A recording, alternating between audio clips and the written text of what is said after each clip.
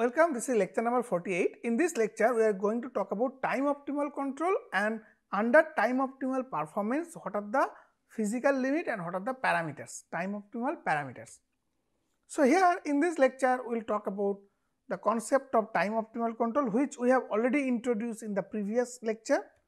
Then how to formulate the time optimal parameter and we are taking a buck converter case study under load step transient then the time optimal parameter under reference step transient and then the summary of the parameter and we will see uh, you know what is the role of capacitor, inductor selection in the recovery time, overshoot, voltage undershoot, uh, then current overshoot and so on. So, first we want to recapitulate the boundary control for time optimal recovery and that we have already discussed in the previous lecture that we need to set uh, find a set of timing parameter to achieve the fastest response and that actually turns out to be a one switching action. So, we need to formulate all the parameter in order to ensure that our transient recovery happens in one switching action then we can ensure the fastest transient or the optimal time optimal recovery. And this trajectory will look something like this that means you have uh, initial load current of I 0 here our initial load current I0 here and then there is a load step transient with a step size of delta I0 and then it will reach, reach to another trajectory. Here again the blue one is the on state trajectory and the red one is the off state trajectory and it will reach to the next operating point in one switching action. Okay? Now, the timing diagram looks something similar that means Earlier we talked about the phase plane trajectory where this ripples if you see if you consider the ripple here that means if you consider the ripple parameters here this is our inductor current ripple and which is same as our inductor current ripple. And this is our output voltage ripple delta VR and which is nothing but our this parameter our this parameter delta VR ripple parameter. And you can see during time optimal transient there will be a some current overshoot. So, this is my I peak current like you can think of and this in the inductor current it is like this is my I peak current right. For capacitor current we can think of the peak current to be almost from this current. So, this is my peak current I peak that we are going to find out. So, we need to find out this peak current then how much duration it takes that is my recovery time right and who actually uh, I mean this recovery time depends on what parameter does it depends on inductor does it depends on capacitor does it depends on input voltage? Does it depends on the load step size? Of course, it should be dependent and then how this quantity undershoot is a function of this L, C, V, V0 or uh, delta I0 all these that we are going to check and, uh, and also the peak time, peak current. So, the time optimal recovery will start with this using capacitor charge band, which is a very standard method. So, you see the capacitor current is nothing but for a buck converter in continuous conduction because you are talking about a synchronous buck. Here the average inductor current is the average load current right and that is before transient and after transient it is delta I 0, I 0 plus delta I 0. In capacitor current it is nothing but the inductor current minus load current. So, your average is 0 and it will take the same ripple of the inductor current when there is a load step transient, since your capacitor current is nothing but IL minus I0, suddenly if there is a load step transient, the inductor current cannot respond because we know the inductor has an inertia. So, it cannot it will not allow the current to change immediately. So, there cannot be any discontinuous current change in the inductor. So, as a result any load step change which will happen in a discontinuous step load that will be reflected as a negative step load here and that is a here the magnitude remains same. So, capacitor will directly go down and this size is same as the step size because we know the capacitor. So, that means your new capacitor that means IC old is nothing but IL minus I0 and IC new is nothing but IL minus I0 plus delta I0. So, the time instant where this delta I0 load step appear. So, before that and after that the there will be a jump in the capacitor current because inductor current cannot have a jump it will slew up and it will take finite time. So, because of the direct jump in the capacitor current for a load step up transient the current become negative and once the switch turns on the current will slowly rise. So, until the current crosses the 0 current the output voltage will continue to decrease. So, output voltage will decrease because your capacitor current is negative. So, the voltage will discharge. Once the capacitor current become positive and keep on increasing then the voltage will rise okay and then again it will turn off and it comes here. So, you can see during this recovery phase the charge q1 which is a negative charge must anticipate the positive charge so that if you can make sure uh, then you can expect that voltage will again come back to the original position.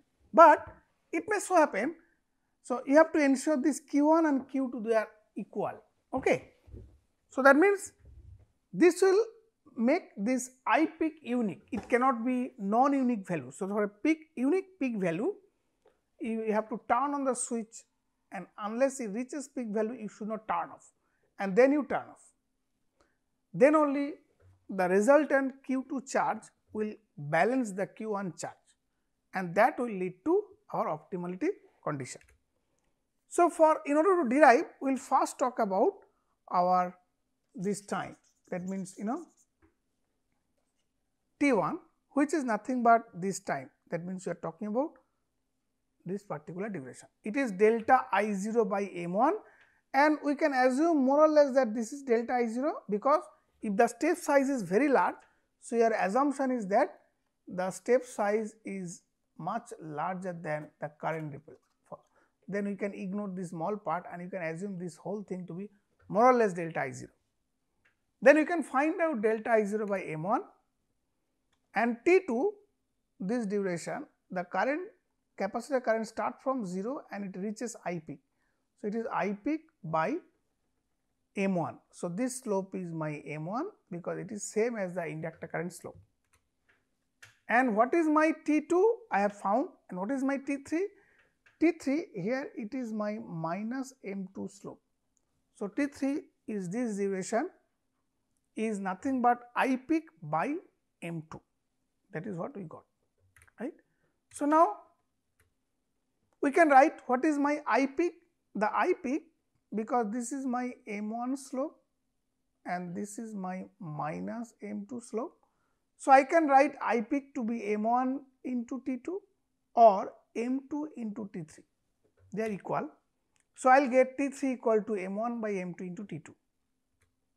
So, if I want to get T1 T2 plus T3 this using this you can use this expression will be needed that is why we are computing here.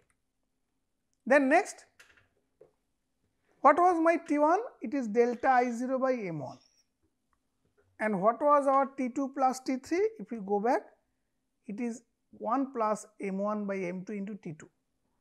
And what is my T2? From here I can find because I know that IP equal to uh, m1 into T2. So, I can find T2 equal to I peak by m1. Okay, so, I have used that that means here it was like you know I have replaced. So, earlier it was what that means this is nothing but m 1 plus m 2 by m 2 into T 2 and if I replace T 2 here then this whole thing will coming here m 1 plus m 2 and this uh, T 2 is what it is I peak by m 1. So, this m 1 m 2 will get multiplied so, this is a multiplied term I I p right. Next What is my Q1? It is nothing but this current height into this duration into half and since this is negative, so negative half of delta I 0 is my height because I am assuming this is to be equal and T 1 is my duration and what is T 1?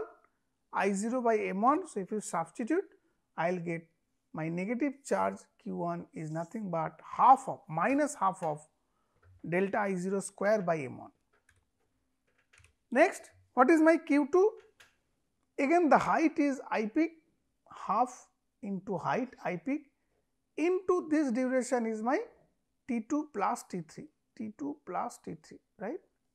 So, this is here and what is T 2 by T 3 that we know m 1 plus m 2 divided by m 1 m 2 into IP and if you substitute here then what will get q t equal to this term half of and because there is already one I peak and this is I peak so I peak square.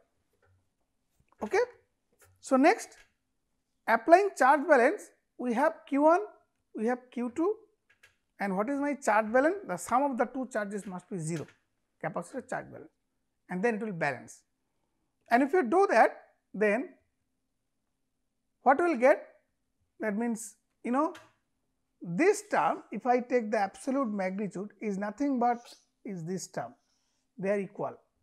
So, they are equal right because if you take the sign into consideration from here that means from here what we are getting q 2 equal to minus q 1.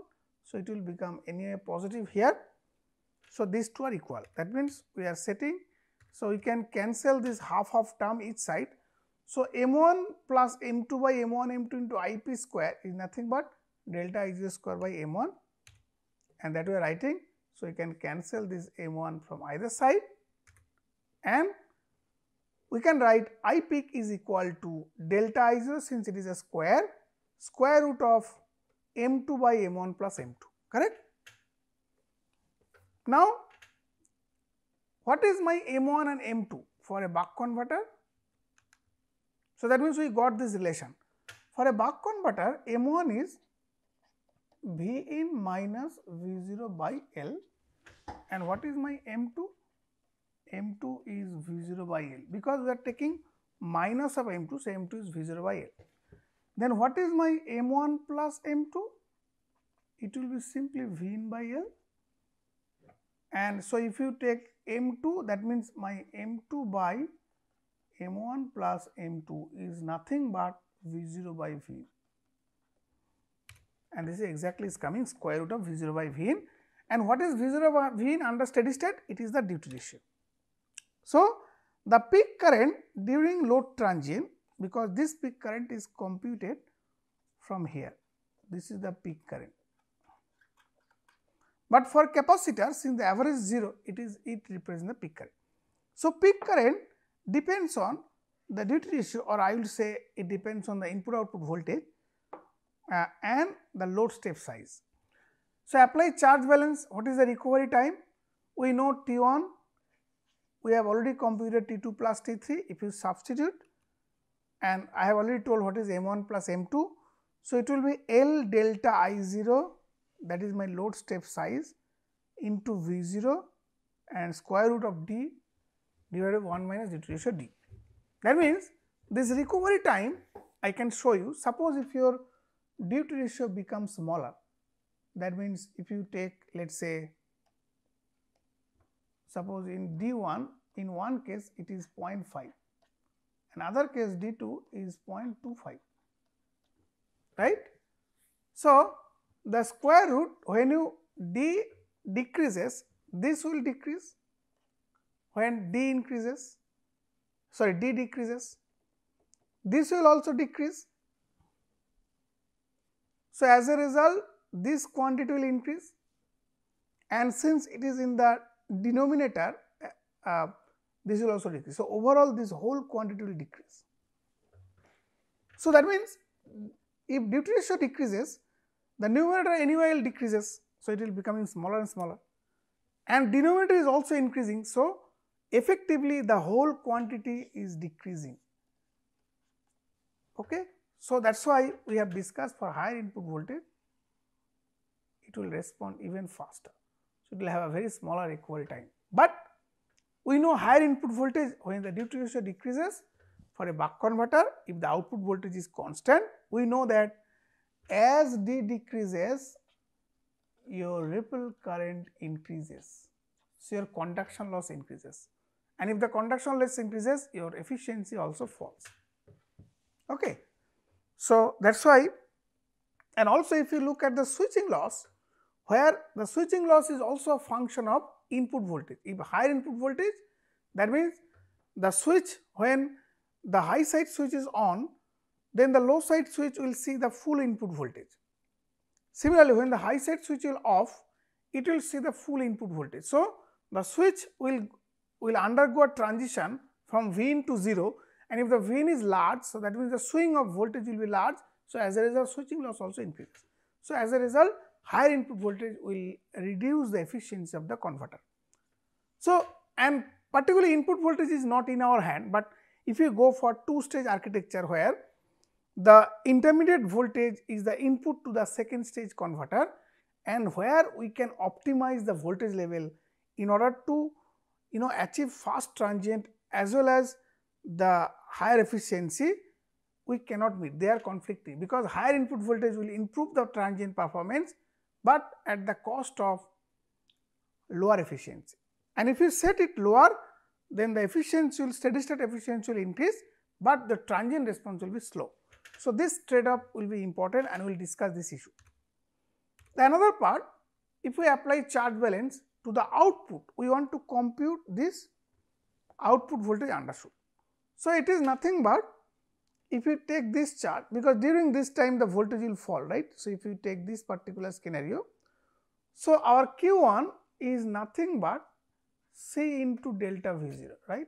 If you do that Q1 so, yeah it should be minus minus of q1 because we are considering delta v 0 magnitude that means it is the magnitude rather than a sign. So, I want to compute the magnitude and we are calling it is an undershoot. So, then we can find out the delta I 0 is this and this L by C is the characteristic impedance is nothing but L by C. That means, you can see the undershoot can be substantially reduced if if so this delta v0 can be reduced if L reduces or C increases. That is why in the power supply design we generally choose smaller inductor larger capacitor because we need to reduce the output undershoot right. And if we see the peak overshoot it does not depends on the inductor value but the recovery time does.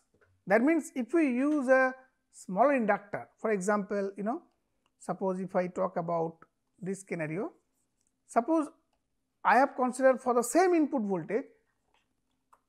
Now V in same V in same but L decreases. Then what will happen? So, for a smaller L this slope will be faster right? Because this slope m1 or this is like this one right. So, m1 m1 is nothing but v in minus v0 by L. So, as L reduces the slope increases and it will respond faster. So, that means your recovery time linearly proportional to the slope. If slope reduces recovery time reduces, but the penalty because if you take the delta IL it is nothing but V in minus V0 by L into dt right. So, that means if you decreases L the ripple actually inversely proportional. So, current ripple will increase as a result your conduction loss will increase, RMS current will increase and also the capacitor ripple will also increase because capacitor ripple is also a function of inductor current ripple because it is the integration of the capacitor current right. So, that is why we have to choose this LC very carefully. Though our requirement is that we will prefer to go for smaller L and larger C. So, we have to be careful about the choice of inductor because we need to consider the efficiency ripple and other thing. But the large capacitor may be good, but it may not be good because large capacitor will penalize the power density. Because if you use a bigger and bigger capacitor, then what will happen? Your size of the converter will increase and power density will decrease and also a larger capacitor can have you know uh, the poor reliability. So, reliability point of view, so it is more prone to failure and generally people do not use a one capacitor. So, they we generally consider a bank of capacitor. So, summary of time optimal load transient we know the peak current, recovery time and the load step uh, uh, undershoot and this undershoot can also be reduced again if you if duty ratio decreases that means if input voltage decreases then naturally this undershoot because if you can increase this you can see during this time the voltage will only fall and then rise. So, that means undershoot will also reduce. Okay, so, this is conceptually very clear a smaller duty ratio can reduce the also the peak current. So, it will reduce the peak current, it will reduce the you know sorry it will reduce the peak current, it will come like this. Uh, it will reduce the peak current also because your falling slope is same right? Reduce the peak current it will reduce the recovery time and this. So we have to be very careful but often we do not have any choice in the input voltage unless we take a two stage architecture. And if in two stage architecture there is scope for optimization. Now for a reference transient because if we consider this DC-DC converter is supplying a digital processor load that means VDD of a digital circuit, digital circuit. So, this digital uh, I can say digital circuits. So, there are millions of maybe transistor, digital transistor and each of them require a VDD. So, this overall VDD will be supplied by DC-DC. Now, we know that the dynamic power, the dynamic power of any CMOS processor is the square of VDD. So, if you can reduce the VDD, you can save power, but this also the propagation delay that means if you take the propagation delay that means if you consider the propagation delay this propagation delay is inversely proportional to 1 I mean it is proportional to 1 by VDD or inversely proportional to VDD. So, if you reduce VDD you can save power, but the penalty will come in the in a, your uh, delay and that is why it will slow down the computation. But it is important that because since this DC converter has to meet the requirement of the processor when you know because sometimes we need to suppose you are playing a game.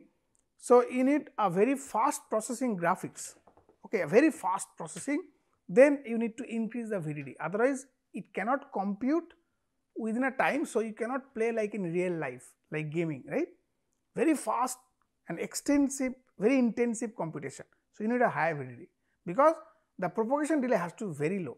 So, we do not care about the losses there. But suppose if you are just browsing internet, why should you use a higher VDD? So, you have to reduce. So, depending upon the various kind of task, you need to optimize. So, the converter has to also generate the change in reference voltage accordingly. But if we want to derive the recovery time for a reference transient, we will see some interesting fact. So, here also you know we can think of this peak current again the same way the peak current we are talking about the capacitor current and you see this whole positive charge will actually generate into delta V. So, you can see C delta V ref is nothing but this Q that is what we will get peak current then we can find out q that half of IP which is the height from here because it is a capacitor current, this is a capacitor current into T1 plus T2. So, and TR is the recovery time which is the sum of these two. What is T1 plus T2? So, you know T2 is nothing but this. So, if you substitute here then you will get the whole thing will be TR equal to M1 plus M2 divided by M2 into T1. Now, the Q is this we can write by you know simplification and we know that Q equal to C into delta V that we have told because whatever charge you are injecting it will ultimately raise the voltage level. And if we equate these two here, if you substitute here, then you will get this expression. So, your T 1 can be found from this relation and we know M 1 equal to V in minus V 0 by L and M 2 equal to V 0 by L for a buck converter. And if you substitute the recovery time can be found in this form and if you substitute M 1 M 2 then you will get recovery time is a function of inductor, function of capacitor, the step size and also the output voltage and of course, D is there means it is also a function of input voltage. So, here you will see we are getting something like 2 LC that means if you if you can reduce the recovery time if you reduce the value of the inductor, but it will increase the you know current ripple. Similarly, the recovery time can be reduced by decreasing the capacitor. So, this will create a conflict because for imagine if you want to change the reference voltage level and if there is an output capacitor that ultimately we are changing the voltage level of the capacitor. If the capacitor value is large, so it will require more energy for to change from one voltage level to the other voltage level and that will come from the inductor. So, a larger capacitor will require higher recovery time And if we compute the peak time because we know the T 1 expression, if you substitute then if you compute the uh, M 1 M 2 if you substitute, so you will get the peak current is nothing but 1 by Z c. That means, if you take a larger capacitor as I told you need to have get more energy from the source and under optimal performance the current overshoot has to be significantly large because then, then only we can get more energy coming from the source through the inductor because you need more energy to change the capacitor from one voltage level to the other voltage level because your capacitor value is large. So, this higher capacitor will lead to higher peak current, but the lower inductor which we want to get earlier expression we saw it will lead also higher peak current. So, there is a conflict right and that we will discuss in another lecture, but here we are trying to formulate the peak current. So, the summary of timing parameter that peak current and the recovery time and if we tabulate under load transient our peak current expression is this, our recovery time expression is this and the voltage undershoot is this. So, in case of load transient, we generally want this to be small and this to be large, but that we typically design for any power supply. But if you go for reference transient, particularly if you go for envelope tracking, you will just see the opposite. You use a higher, lower capacitor because in fact people rarely use a capacitor, very small capacitor because that will penalize the bandwidth significantly. So, your capacitor has to be small. So, C is small, very small. And what about L? If we use a larger L, then we can reduce the peak current. But the larger L can increase the recovery time. So, you need to trade off with this L choice. But there is you can see some conflict with the LC when you are talking about this. And we will discuss this in another lecture, uh, you know, and this will lead to more energy overhead. Okay. So, so summary we have discussed about uh, time optimal control concept, time optimal control recovery under load step transient, time optimal control recovery under reference step transient. We have formulated different timing parameter, timing parameter, timing as well as you know uh, peak current then voltage undershoot all these we formulated under time optimal recovery. So, we have also summarized and we will discuss more about uh, you know first of all what will be our target that how can we achieve such time optimal performance using closed loop control so that we can get fastest response and then next task will be how to design power stage so that we do not compromise between you know this timing parameter and the peak voltage and current. And then another objective also in the few subsequent lecture when you talk about load transient and reference transient how to solve this problem. So, with this I will I will finish here thank you very much.